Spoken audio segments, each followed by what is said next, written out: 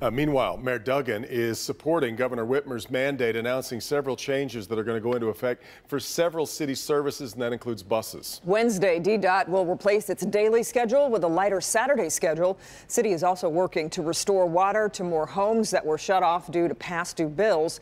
And Detroit's Recreation Department is providing meals for children. The mayor says we must isolate ourselves.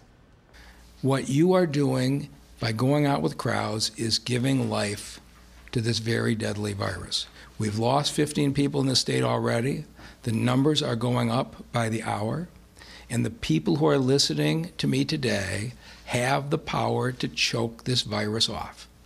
And that is the point of the governor's message.